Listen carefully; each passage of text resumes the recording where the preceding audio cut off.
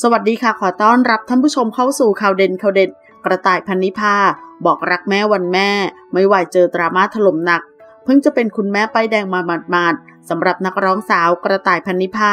วันแม่ปีนี้ เจ้าตัวเลยยิ่งเข้าใจหัวอกคนเป็นแม่มากขึ้นไปอีก เลยถือโอกาสบอกรักแม่ และขอบคุณแม่ตัวเอง ที่เลี้ยงดู และอยู่เคียงข้างมาตลอดในทุกช่วงชีวิต ทั้งนี้กระต่ายได้โพสต์รูปคู่กับคุณแม่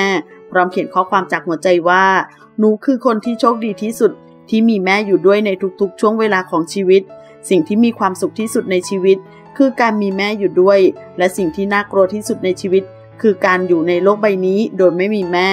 วันแม่ปีนี้ได้เป็นคุณยายแล้วนะแม่ เลี้ยงหลานทั้งวันทั้งคืนเลยขอบคุณที่ดูแลหนูตั้งแต่อยู่ในท้องจนถึงวันนี้ หนูเข้าใจ และสัมผัสได้ว่าแม่รักหนูมากแค่ไหน